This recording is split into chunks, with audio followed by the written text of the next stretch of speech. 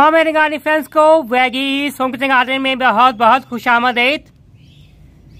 मेरे गाड़ी फ्रेंड्स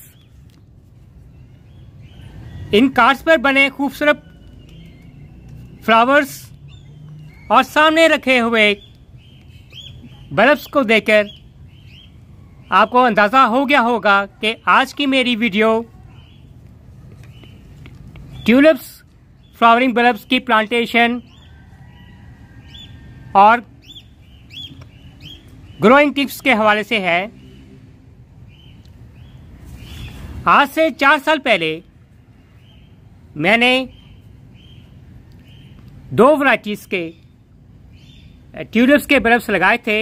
एक ये जैसे आप ये कार्ड पे देख रहे हैं ट्यूलिप्स हैं, ये जवान है। और दूसरा है ये ट्यूलिप्स है डगलस बेडर तो बहुत अच्छी इनकी ग्रोथ हुई और साथ साथ इन पे फ्लावर्स हैं, ये निकले हैं। जैसे ये फ्लावर्स आप देख रहे हैं, इसमें ये दो शेप के ये फ्लावर्स थे। एक ये कप शेप में था फ्लावर और दूसरा ये स्टार शेप में फ्लावर था तो मेरे गाड़ी फ्रेंड्स ट्यूलिप्स की बेतहाशा वराइटीज बेतहाशा कलर्स और बेतहाशा इसमें कलर्स हैं इसमें।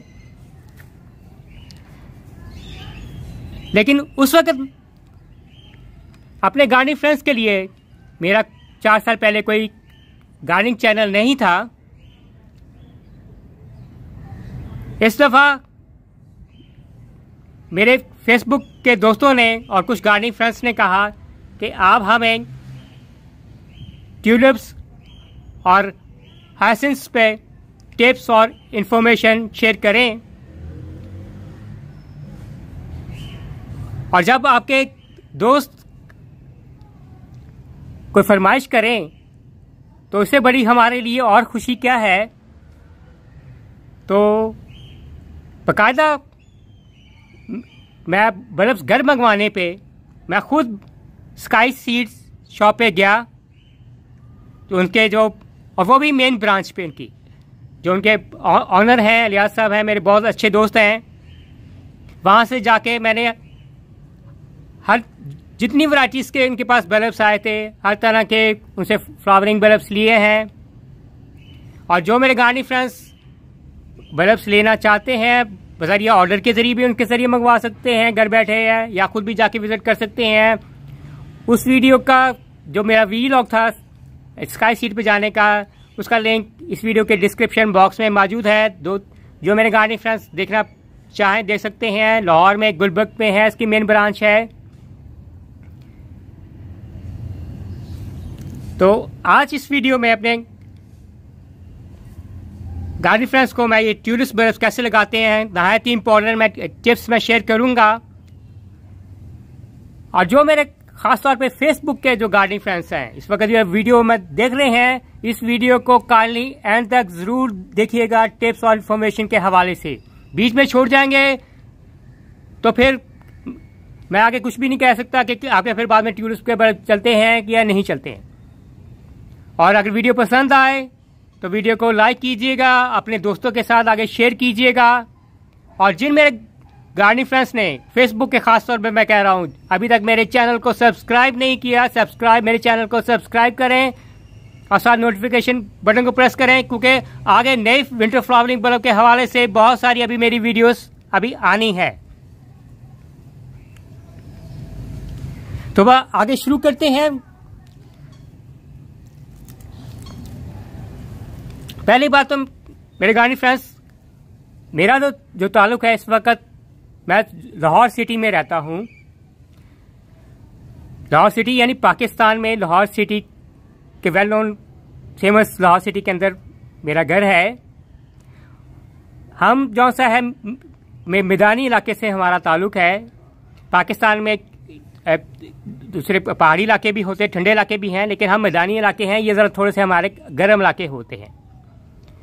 और यूएसडीए जोन मैप के मुताबिक, ये ट्यूलिप्स के बल्ब हैं जोन एक से लेकर जोन सेवन तक है। बहुत आसानी इनकी ग्रोथ हो जाती है। बाद में इनके बल्ब भी बनते हैं। इजी टू ग्रो है। लेकिन जोन सेवन से आगे सेवन ए से लेकर जोन टेन तक है, इन फ्लावरिंग बल्ब्स को चिल्ड करवाना होता है। चिलिंग प्रोसेस होता है। ट्यूलिप्स का जो चिलिंग प्रोसेस है, वो ढाई महीने का चिलिंग प्रोसेस है। वो चिलिंग प्रोसेस का जो है आपको बाद में बताऊँगा कैसे इसकी चिलिंग की जाती है। हमारा जो लाहौर का जोन है, वो टेन ए है।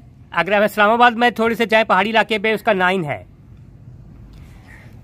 तो अब ये स्काई सीट्स वालों ने बाहर से जो ये हॉलैंड के ये ये बल्ब्स हैं जो उन्होंने स्काई सीट्स वालों ने मंगवाए हैं। लाजमी बात है हॉलैंड के आप सभी जानते हैं। ये heart of the flowering bulbs है बल्कि एक, एक फ्लावर बल्ब का नाम उन्होंने रखा भी हुआ है ये लिखा हुआ हॉलैंड ब्यूटी तो लाजमी बात है ब्यूटी तो होगी इसमें इतने खूबसूरत प्यारे से जब ये बल्ब होते होंगे ये खूबसूरत प्यारे से इस तरह के देखने में है। सबसे पहले इम्पोर्टेंट टिप है कि जो आप बल्ब लें बल्ब आपका चिल्ड होना चाहिए। अब ये, इसलिए अब बाहर से जो बल्ब यहाँ बेचते हैं, किस, या बाहर से ये लोग मंगवाते हैं बल्ब है, और बाहर से बेचने वाले हॉर्न के, वो भी वो, इसका चिलिंग प्रोसेस है, वो सारा का सारा कंप्लीट करके यहाँ बेचते हैं। और ये बल्ब इस वक्त मेरे गाड़ी फ्लस ये आप देख रहे हैं, ये बल्ब ऑलरेडी चिल्ड है। और इसमें ये देखें, ये इसमें स्प्राउट है, ये निकली हुई है। हमें यहाँ ग्रो ग्रो करवाने के लिए, हमारे फरवरी या मार्च में ये यहाँ ग्रो होते हैं। यानी फरवरी और मार्च में यहाँ इन पे खूबसूरत से प्यारे से इन पे फ्लावर्स आते हैं। हॉलैंड में जो फ्लावर्स इस पे आते हैं वो मई के महीने में आते हैं और वहाँ का तो उस वक्त टेम्परेचर होता है, वो तेरह सेंटीग्रेड होता है। और यहाँ हमारे पाकिस्तान में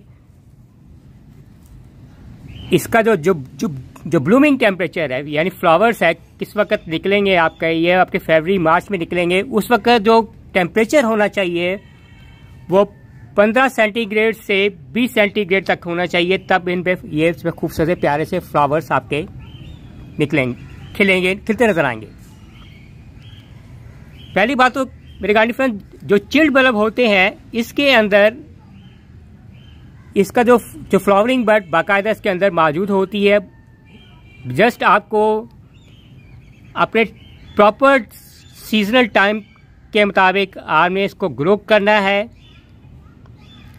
अब मैं इसमें आज, इस वक्त मैं, मिड है, दिसंबर का ख़त्म हो गया हुआ है। अब मैं ऐसे ग्रो करूँगा।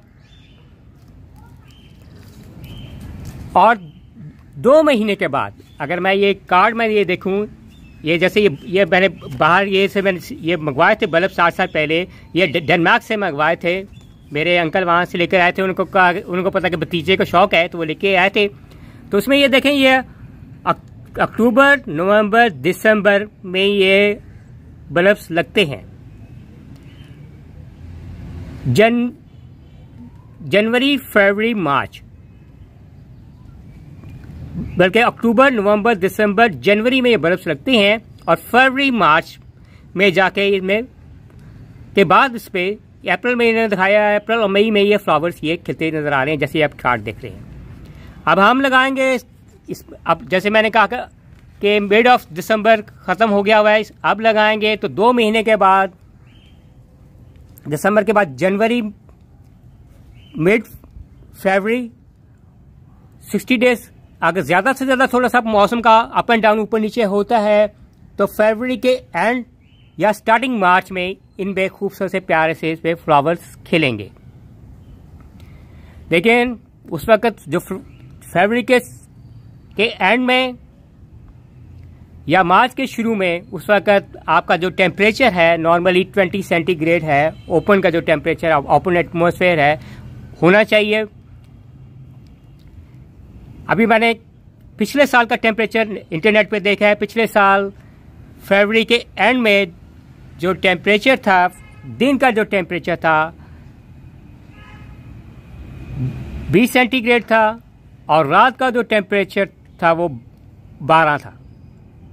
इस वक्त जो मैं बल्ब लगा रहा हूँ, इस वक्त दिन का जो टेम्परेचर है, इस वक्त सतारह सेंटीग्रेड है और रात का छः सेंटीग्रेड है और अगले पूरे एक हफ़्ते तक यही टेम्परेचर चलेगा।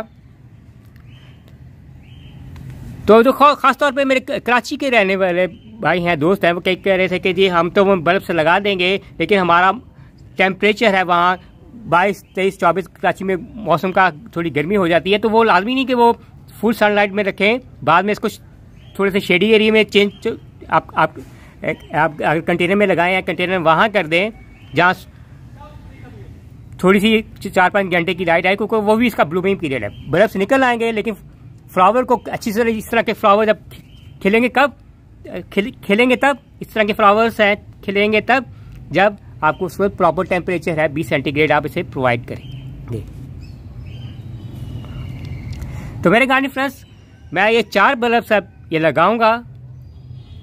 और चार बल्ब्स में एक इनके जो नाम हैं, मैं आपको बताऊँगा। ये पहला ये हॉलैंड ब्यूटी है, दूसरा है वॉशिंगटन है, तीसरा है एस्केप का बल्ब है, और चौथा है अरमानी ये चार हैं, ये कलर्स हैं, ये जो मैं लेके आया हूँ बल्ब अपने गाड़ी फ्रेंड्स के लिए।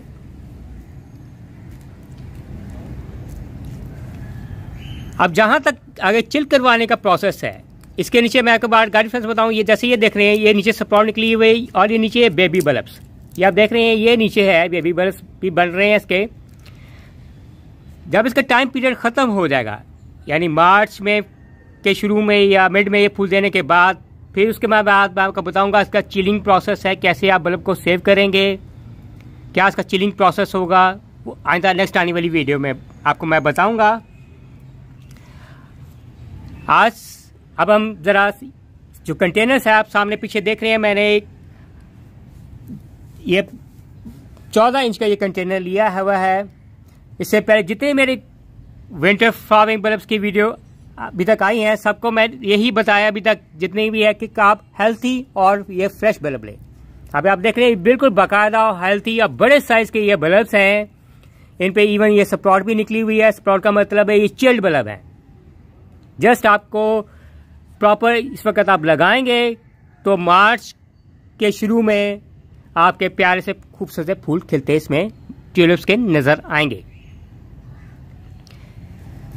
अगर आप एक कंटेनर में मैं एक ही इस वक्त बल्ब लगाऊँगा, इस तरह आप एक से ज़्यादा बल्ब भी लगा सकते हैं। यहाँ से दोनों का डिफरेंस है, आपका यहाँ से इस बल्ब से इस बल्ब का डिफरेंस है, चार इंच का होना चाहिए। और कितना ये बल्ब ये जो डीप होगा,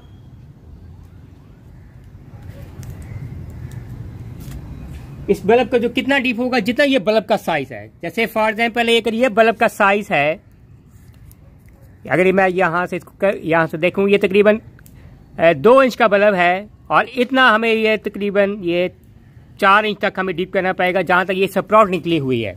यानी ये स्प्राउट यहाँ तक इसे, यहाँ तक हमें इसको इसको नीचे दबाना होगा।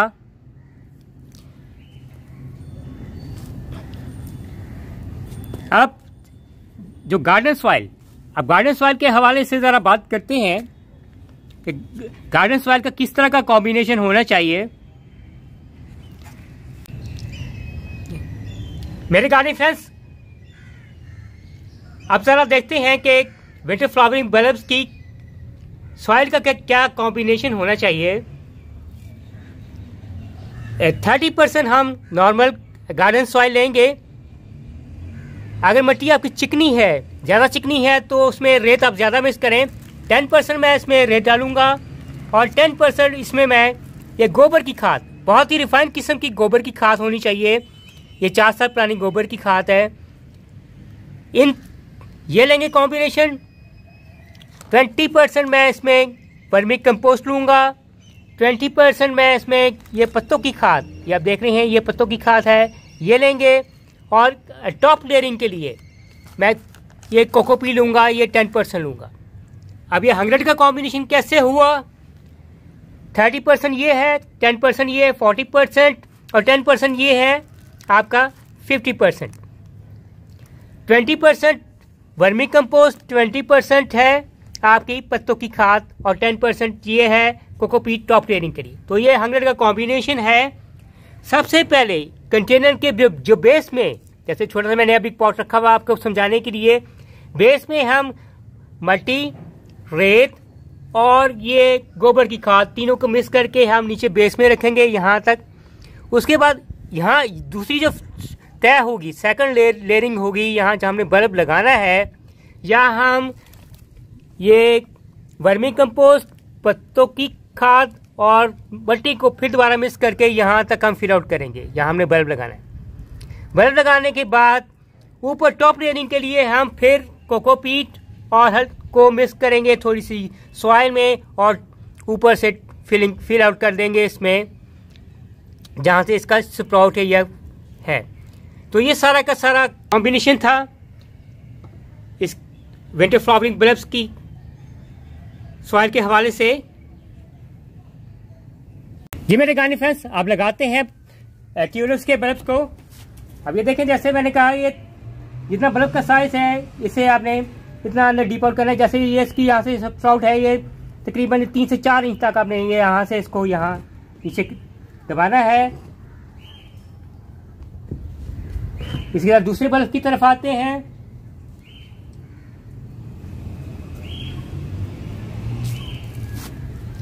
ऊपर टॉप लेयरिंग करनी है। कोकोपीट और सॉइल को मिक्स करके टॉप लेयरिंग करनी ताकि मॉइस्चर कंटेनर्स को वहाँ आपने फुल सनलाइट में रखना है, जहाँ सारा दिन धूप आए। क्योंकि आजकल सर्दियाँ हैं, दिन का टेम्परेचर मैंने अभी शुरू में जैसे बताया स्टार टेम्परेचर है, रात का साथ हो जाता है। तो जितनी सनलाइट मिलेगी, अब ऑलरेडी चिल्ड है स्प्राउट में निकली हुई है। आपने बस प्रॉपर सनलाइट करनी है ताकि इसकी प्रॉपर ग्रोथ हो और इन टाइम पे इस पे जो आपके फ्लावर्स निकले। और अभी देते हैं पानी इन्हें। पानी आप पहली दफ़ा अच्छी तरह दें पानी ताकि जो मिट्टी है पानी ऑब्जॉर्व कर ले। उसके बाद, क्योंकि सॉइल की काफ़ी मॉइस्ट है, आपने ओवर वाटरिंग नहीं करनी, ज़्यादा पानी नहीं देना। जब पानी की रिक्वायरमेंट होगी तब इसे पानी दीजिएगा। और उम्मीद करते हैं कि मेरे गार्डन फ्रेंड्स को ये वीडियो पसंद आएगी by Asim Nawaz from veggie soap garden